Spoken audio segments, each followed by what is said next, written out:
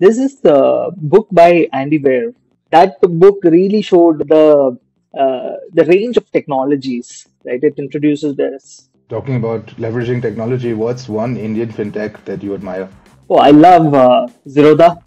Uh, I think they have uh, built a built phenomenal technology, uh, but they've reached an outcome which is not like you know suddenly if you remove the path the outcome will not exist. Top few chosen from the from premier institutions right?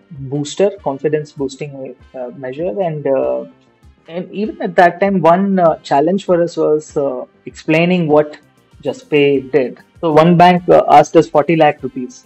Another bank of, uh, asked us 35 lakh rupees right? It was a bit of an angel funding which kept us going right? And that money was not enough to go and uh, uh, get this license. Having a lot of inertia from moving away from our business model to pursuing it, uh, it through a completely different business model, right?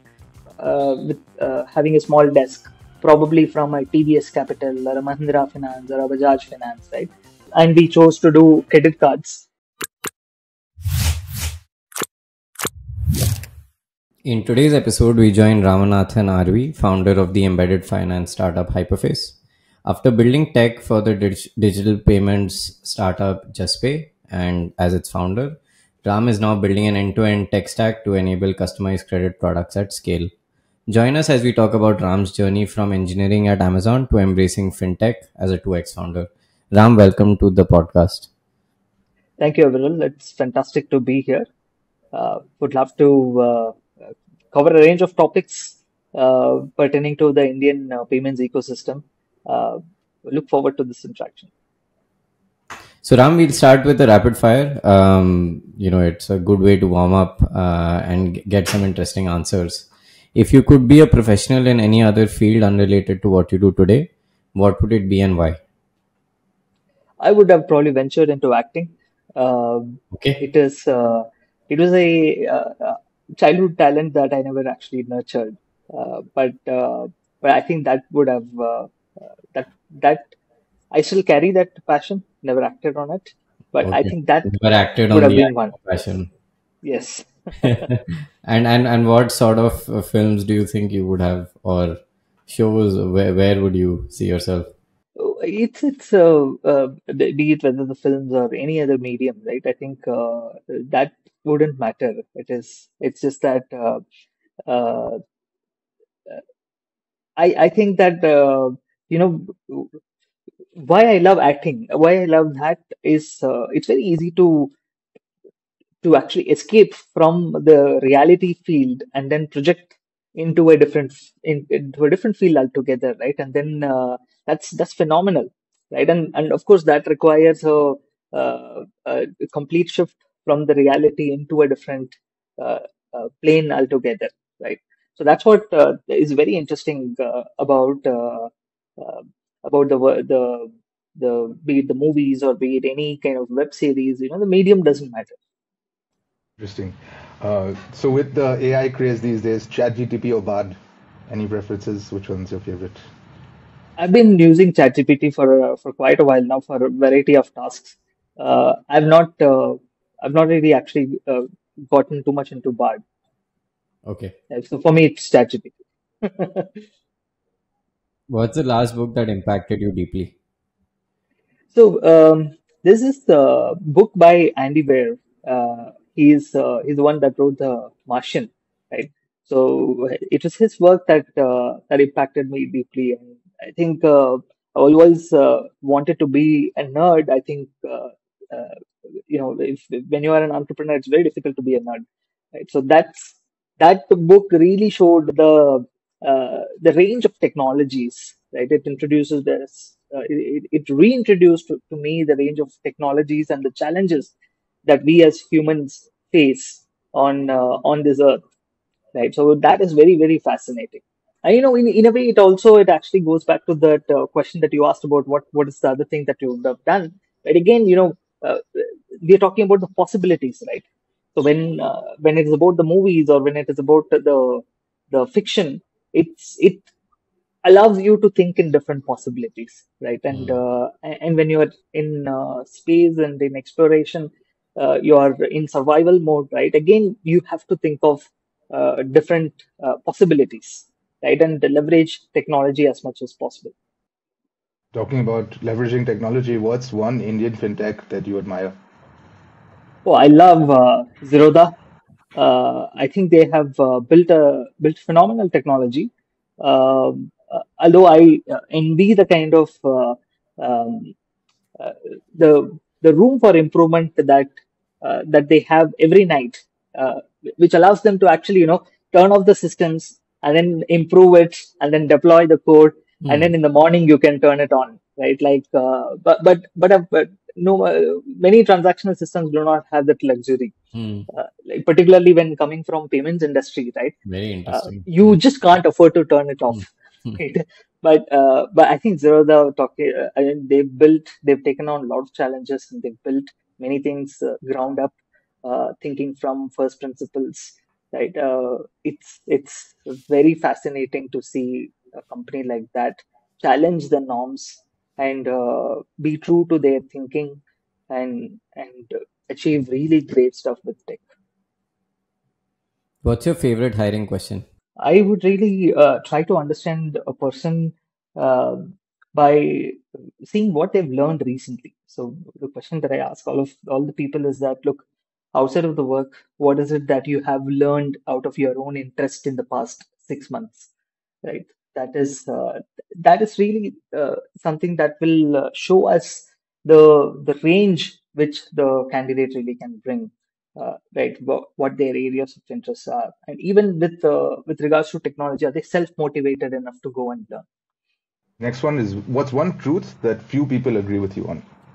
we consider ourselves the software uh, uh, you know back office of the world uh, but uh, uh, but I think that India has the potential to build its own browsers and operating systems and databases and uh, and uh, network protocols right which we've uh, I don't think we've had the confidence to go out and build right? Uh, I think India will, in the next decade, uh, invest a lot, uh, bring out its confidence in technology, and then build these fundamental softwares, right? Which are which which do not have anything to do with business applications, right?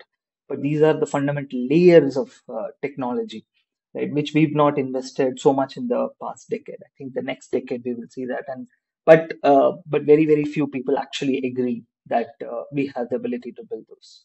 Why do you think we need to build those versus using, you know, other countries' tech? See, tech is always uh, it's uh, there's a lot of path dependency in technology, right? It's sometimes there is no particular reason or logic that uh, that is required for us to do things, right? Even even if not for simple, let's say for the problems that we face in in uh, our day-to-day things, right? Even if we are not driven by those, it is important to keep dabbling in system software and in different technologies just so that we build that muscle. If we don't build that muscle at all, right, then we will never be in the cutting edge of innovation, right? So that, that's why it's very important to be very careful with what we are outsourcing, right? And and fundamental softwares like these are again, you know, tomorrow.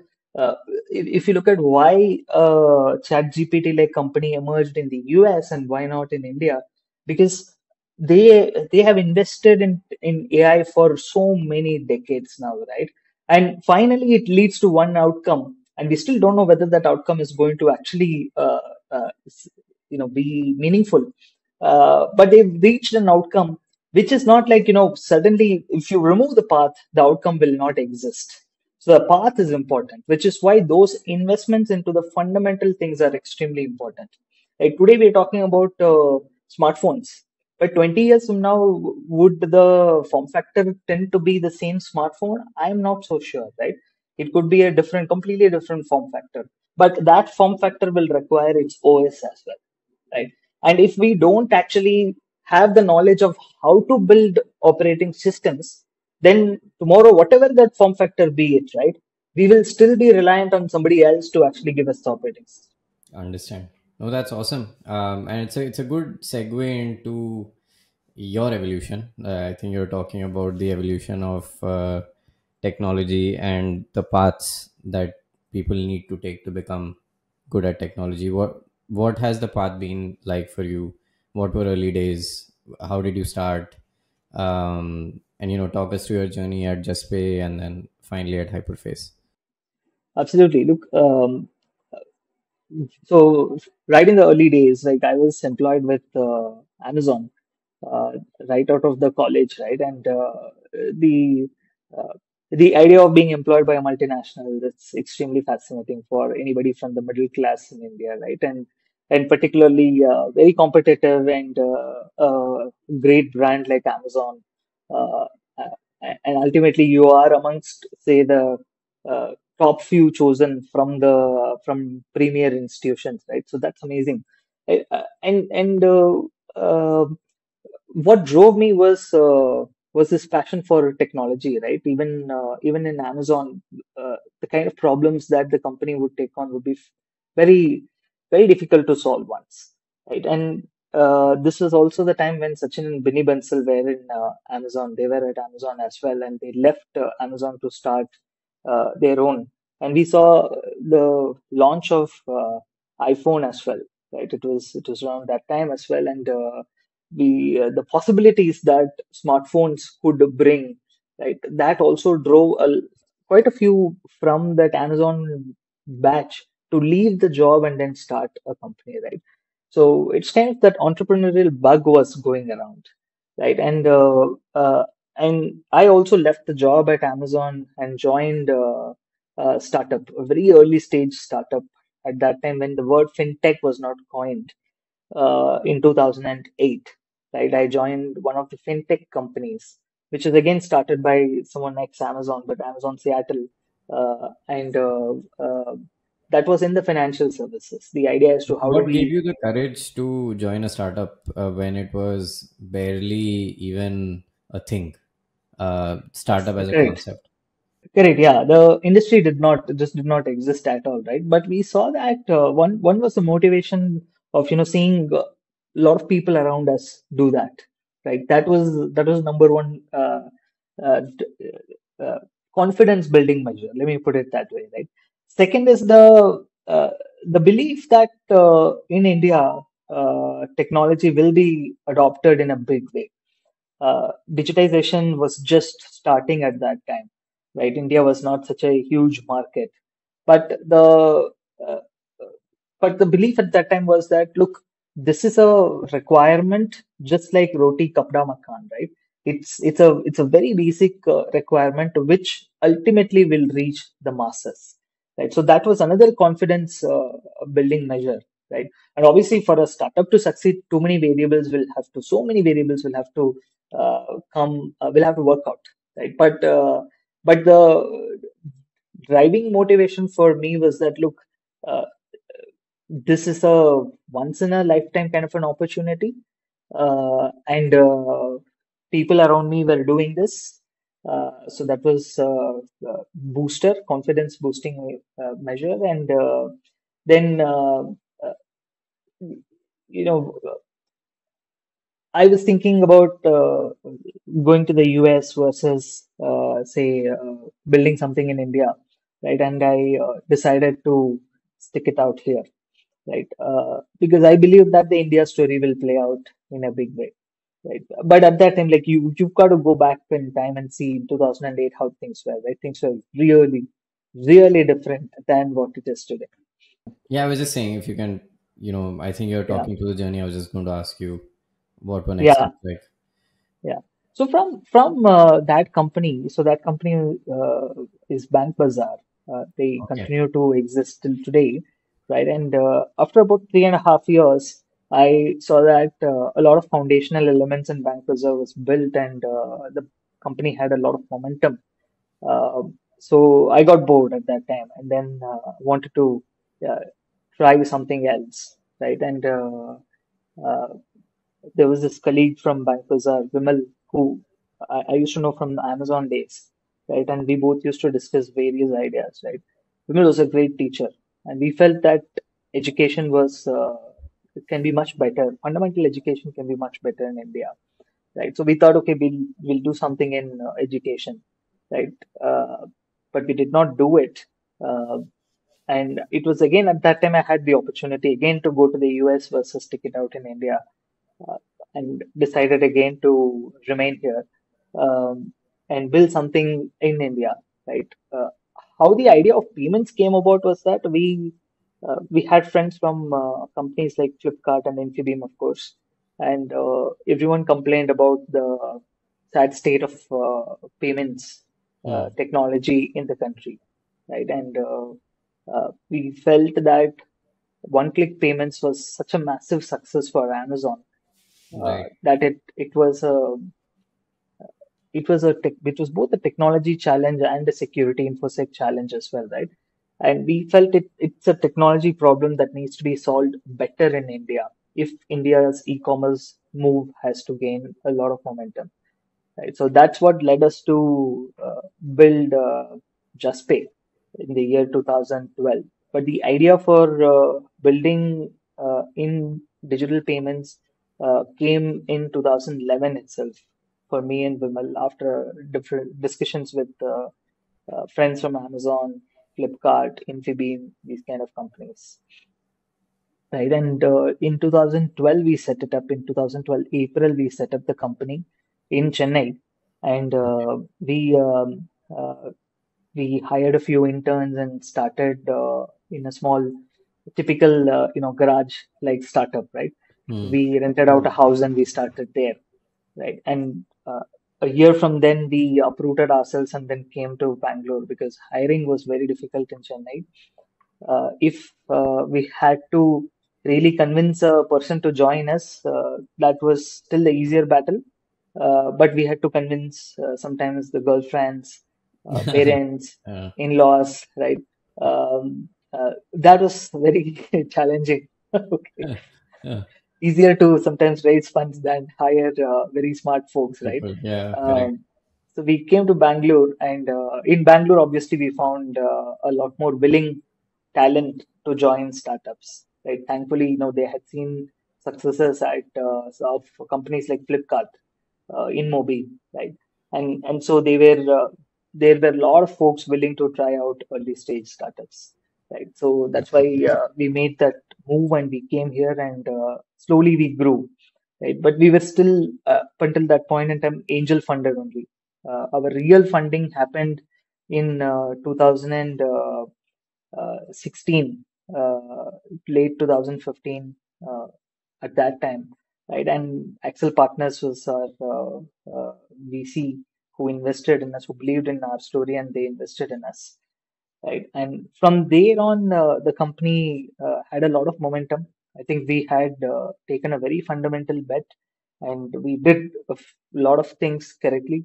We did a lot of mistakes as well, but I think uh, more decisions were correct, and uh, that led us to uh, build a solid company right? That is grounded on solid principles um, rather than, let's say, you know, looking at different metrics, right? So we were we were looking at what is the actual value, what is the uh, what do we define as actual culture, right? Uh, we got a lot of things correctly done at that time, uh, and now uh, Juspay is a, uh pretty good, uh, uh, uh, pretty solid outcome right? And and even at that time, one challenge for us was explaining what Juspay did, right? And for a long time, everybody thought that we were in the money moving business, right? But we were actually building technology. We were not touching the money at all, right? Uh, uh,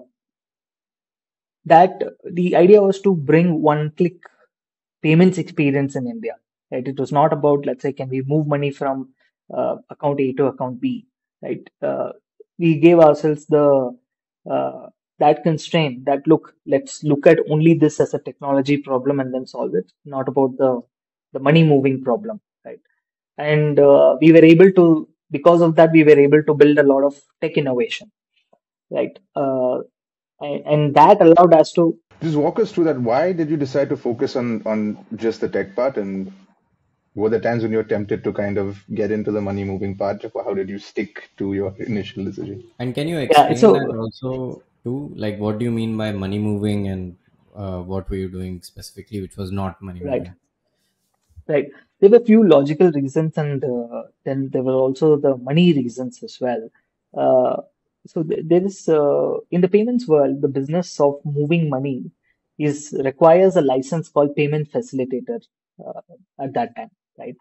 Uh, today it is uh, it is now the RBI has put a lot of uh, uh, framework to this, but back then uh, the that time what was existing was a payment facilitator license, right? And and the payment facilitator license requires an upfront payment uh, of about uh, 25, 30, 50 lakhs, 1 crore, depends on the banks, which can actually uh, uh, set that kind of a security deposit, right? Or a, or a one-time fee, setup fee, right? And we didn't have that kind of money, right? That was one reason. Second reason was that uh, in in India, uh, even companies like Flipkart uh, directly signed up with the banks. So banks were the gatekeepers to the technology, and banks actually signed up uh, top merchants like uh, Flipkart directly, uh, and they were selling the same technology to companies like uh, Juspay, Razorpay, PayU, right? So those, there was a structural advantage that the banks had rather than let's say uh, private companies like Razorpay, you uh, Juspay having, right?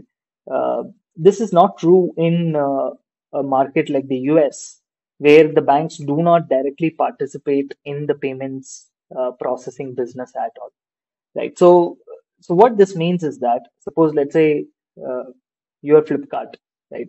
And if I'm HDFC, I would come directly to you and then I will say, look, why don't you sign the payments agreement directly with me, right? And I will give you better rates, right?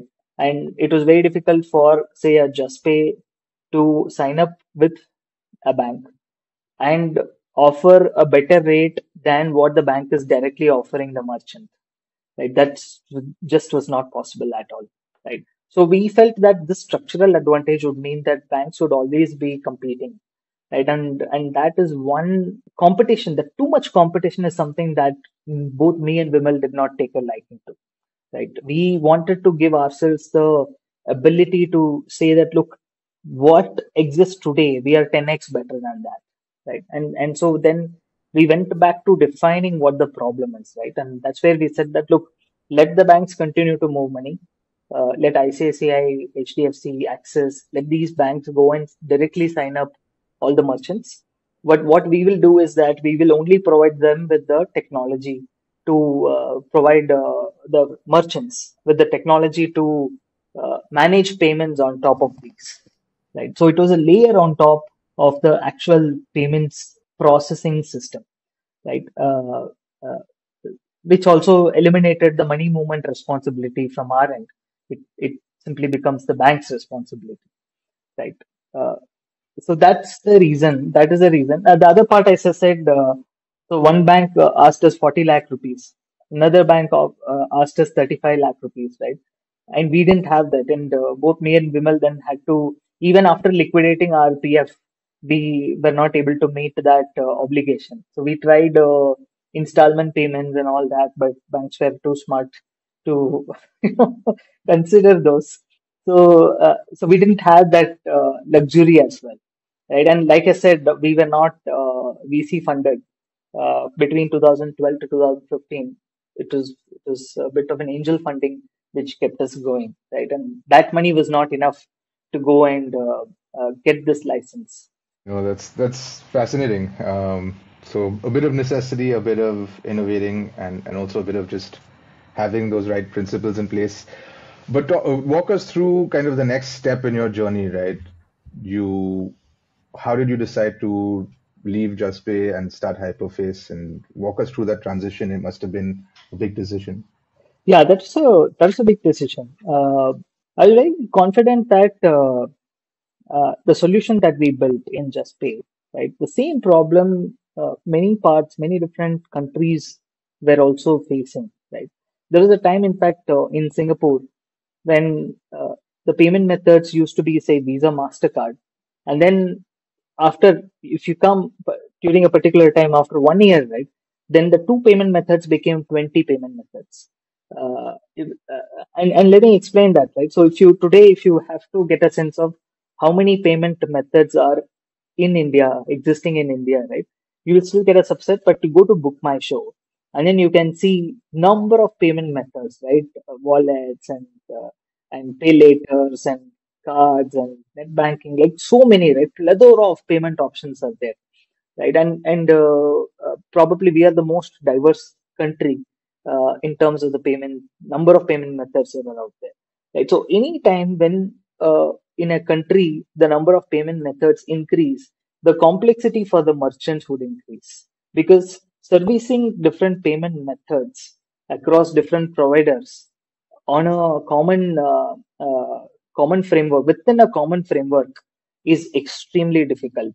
It requires a lot of commitment to technology and uh, being able to build technologies to uh, to uniformly service the customers right? And and uh, uh, it is that difficulty which Juspay eliminated for the merchants in a big way right? And and i was actually uh, uh, pulling the company in the direction of expanding internationally but at that time uh, uh, of course we had our differences and we should every founding team the members they should have their differences so my uh, uh, co-founder disagreed and uh, my board also disagreed at that time and they did not want to invest in international expansion at that time right and Viral would have probably seen a lot of these such boardroom discussions right Yes. uh, it's uh, it's it's never an easy decision, right? Uh, these kind of uh, strategic ones, right?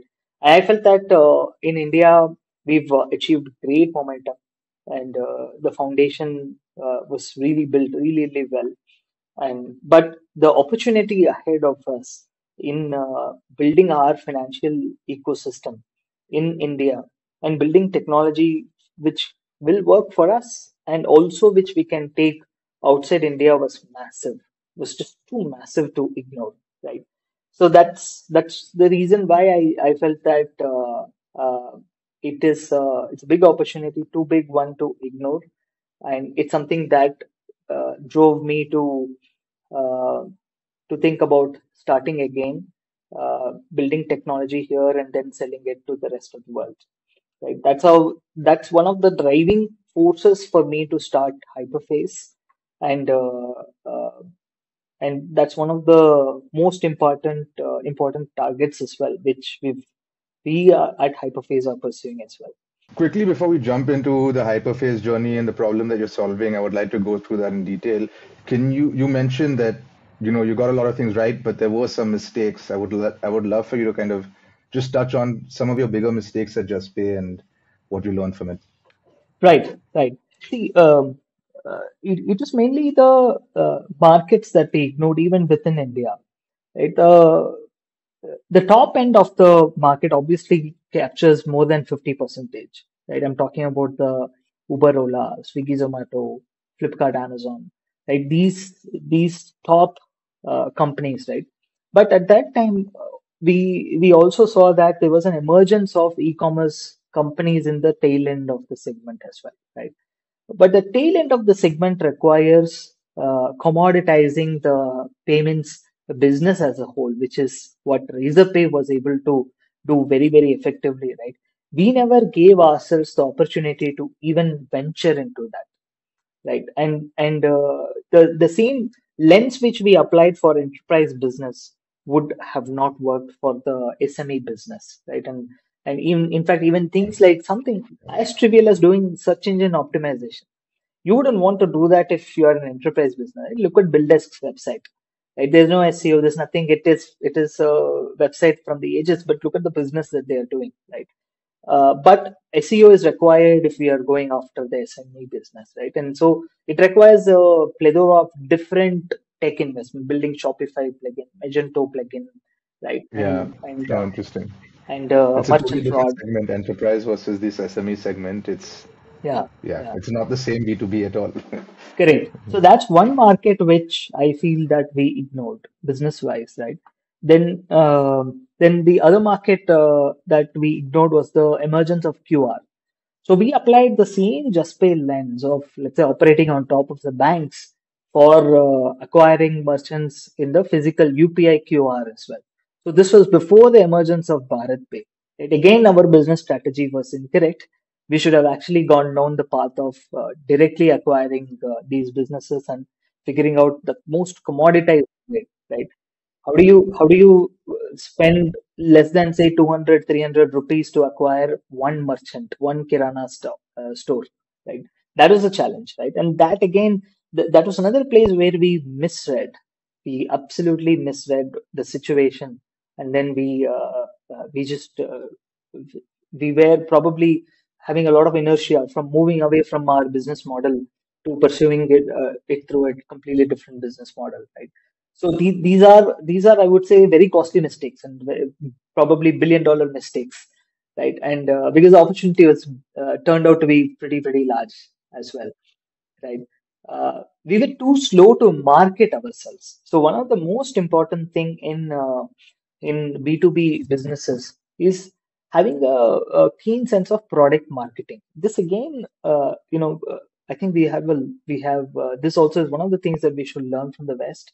How do you package things very, very in a very substantially better manner, right? Uh, we lack those skills. We should have invested early on itself, and we should have projected. Uh, we were creative. We were a category creating company. Today, if you if you look at the world everywhere, if you look at payment orchestration is a thing, right? It's a big opportunity recognized by the VCs as well, right? Uh, but at that time, the that category did not exist at all, and we were the company uh, probably the first in the world to build that system, right? And uh, but we did not market it well. We did not invest in uh, in doing it really well, uh, where the other person can see it and perceive that okay, this is fantastic, right? Our technology really worked fantastically, right?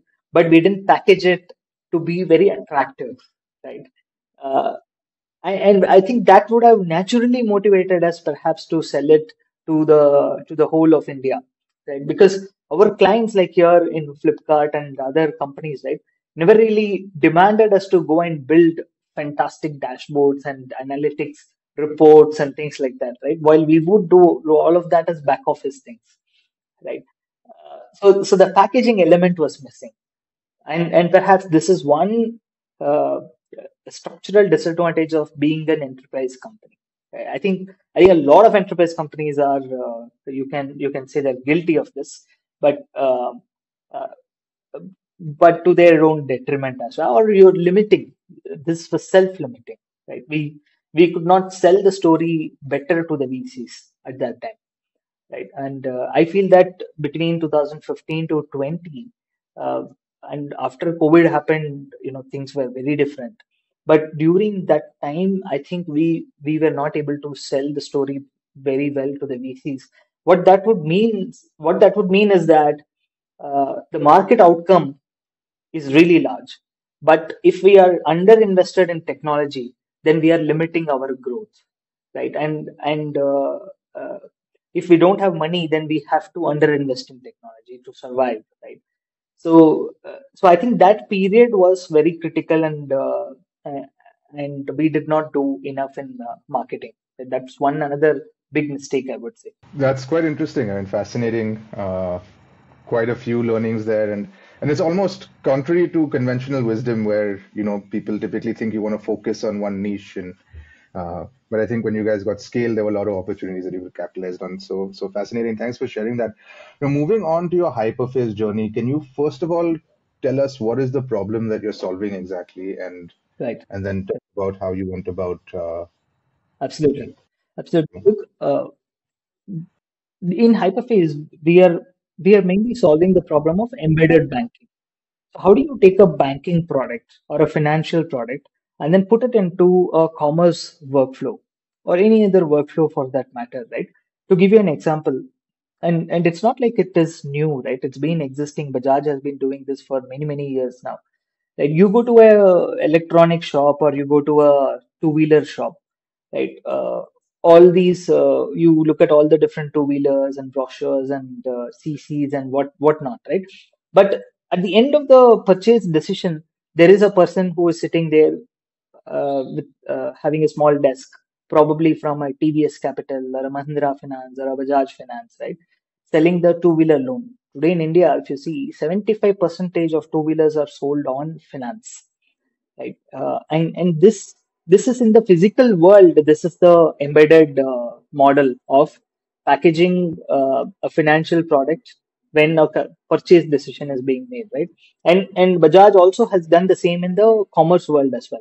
Now, if you see, if you take the whole thing and then if you project it to the internet, right, where uh, let's say a costly item is being purchased by a customer, um, uh, how do you embed in the checkout journey uh, finance product so that you combine the two and then the purchase decision happens, right? Uh, this is this is a in the simplest form. This is embedding, right? Uh, but today, if you if you look at uh, uh, many different uh, many there are many different workflows in customer context. For instance, I'll tell you this, right? Something like goal based saving, right? Let's say you know I want to purchase a house, but I don't have enough money today, and but I need to save up for the down payment, and then I'll purchase the house after a year. Right now there are lifestyle apps or or financial uh, pfm apps which can potentially build this product. Right? They can offer a recurring deposit as a as an option uh, and allow you to save for a particular purpose and then ultimately redeem it for making that purchase. Right? Uh, now i i gave you a simpler different context. Right? In different context in different product being embedded think about let's say today uh, uh, the lack of escrow systems right? Uh, where two strangers are transacting and then you need an escrow product with to actually be in between uh, so that the actual transaction can happen in a much more trustworthy manner. Otherwise there's a lack of trust right? Uh, b2b marketplaces this this kind of a product will be very useful. So in in a lot of times where transactions are happening or transactions are about to happen, a financial product really makes it um uh, happen in in a smoother fashion in a more trustworthy fashion as well, right? So, uh, so embedded uh, banking is a is, is very vast. There are many different products. There are many different contexts, but ultimately it is about taking a banking product, be it a prepaid card, be it a credit card, be it a fixed deposit, be it an escrow product, right? Embedding that in the context of the business, right? This opportunity is too big but today, the bells and whistles, the basic plumbing that is needed in order to do this in a secure manner, because in banking, everything is about trust, right? And and it is very hard to build trust, but it is very easy to lose, as they say, right? And uh, banks have to be extremely careful about information security, right? In the physical world, the damage is very limited to the to the uh, by any malicious actors if they want to do this. You know at best you can go and you can loot a branch but that is not going to bring down a bank. But if the bank's infosec system is compromised then it's a it's a single entry point to the to the whole of it right? So the banks will have to be extremely careful in in uh, doing this embedded banking business right? And and obviously you know you can over index on that and then build some system which is ridiculously tough for anybody to adopt and use right? Uh, uh, but you can do so with uh, with uh, mindful creation of the tools and technologies which will enable others to use but in with all the guardrails in place right? So that's important. And that's where we saw that it was a big opportunity lack of technology.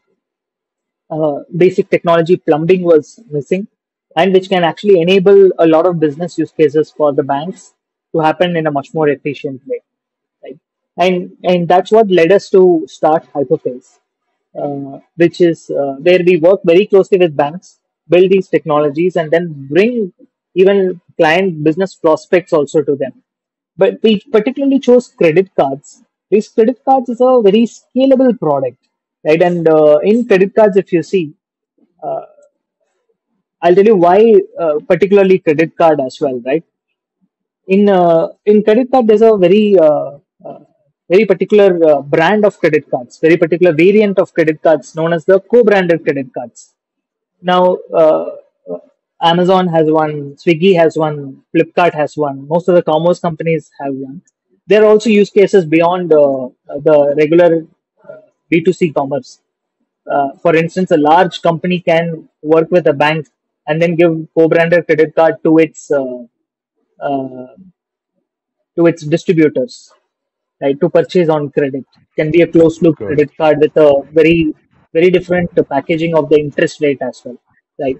So uh, so uh, credit cards are very versatile and they can grow significantly large uh, in terms of uh, the number of uh, products that you are issuing right and it also is very lucrative for the banks as a business?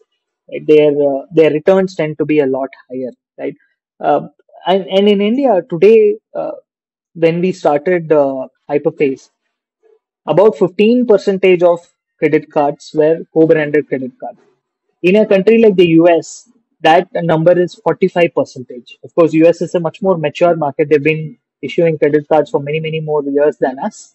Uh, uh, but in India also, we feel that in fact the credit co-branded credit cards can form more than 50 percentage of the of the market share, right? And and of course uh, that requires a lot of investment in technology so that digital distribution can be enabled right?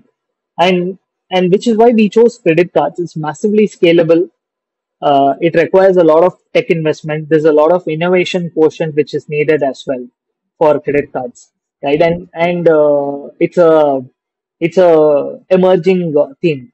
On the other hand, if you look at what we eliminated, we did not uh, want to do personal loans. Uh, if you see personal loans today, there are a lot of fintech companies, there are a lot of uh, commerce companies, B2B companies offering personal loans or business loans as part of their workflows. Right, particularly personal loans, I think we have uh, we, they've been growing on steroids. Right, the small ticket personal loans. Right, they've been uh, growing really in a fascinating way. Uh, but we we chose not to do that. Uh, and we chose to do credit cards uh, because a relationship product rather than a one one and done kind of a product right? And and so it's much more challenging but it's much more rewarding as well right? And and the scalability was very clear to us. Distribution will be digital. Uh, predominantly it will be digital rather than physical. And that requires tech investment and with guardrails building a lot of this with uh, a lot of infosec guardrails in place right which is which is the strength for us right and uh, we complement this right. Uh, banks are very good at doing financial products. Uh, we are not great uh, at that. Uh, we are very good in technology because we are able to hire from the premier institutes and banks are not able to do so not able to pay top dollars to engineers right and and that's why the the complement it was very complementing and uh, great synergy right for us right? So that that's the business we are in. Uh, would we not do other products? I think in due course of time we'll probably venture into other products as well because that's a very that's an evolutionary force right? Uh, and we also see the same theme playing out uh, in different countries as well. So uh, once we have built all the technologies here we will definitely uh, definitely venture outside India as well, right? Because the because it's a it's a common evolutionary theme. Uh, uh, it happened in the US, now it's happening in India, and it'll happen in other countries as well. So it is it is absolute no brainer to actually leverage our technology elsewhere. And talking about technology, I mean, that's been a major theme. You were even involved in building the early infrastructure for UPI. How, how is this technology innovating, you know, with BNPL and credit on UPI now coming up? A lot has been happen, happening.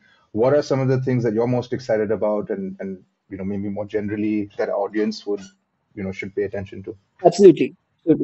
Uh, again, look, look, the way, the lens that we actually, uh, with which we see these things is today for issuing one single credit card, a bank nearly spends about 3,000 rupees, right? And, and in Singapore, I know the affiliate marketing uh, number is tends to be about $300 Singapore dollars, right? So the customer acquisition cost is extremely high but it's uh, you know it's not so much of a problem say for uh, the economy like a singapore or the us because the recovery path uh, is clear for them but in india because our total spends that happen on the card tends to be still lower even at a ppp level when we compare right uh, it is lower than uh, developed economies right so which means that our cac has to come down for banks to be able to profitable uh, to be profitable. Let me let me tell you uh, why it matters even more for us uh, from a growth standpoint, right? So the salaries from top one percentage when you come to ten percentile of the of the earning person in India, right? Because of uh, the total transacting capacity of uh, per capita in the country. Because down as we go from the top of the pyramid into the middle class, say a family that is earning fifty thousand their ability to spend across, say, mandatory and discretionary items outside of their rent and school fees on such credit products uh, is probably going to be less than 10,000 rupees on a monthly basis, right?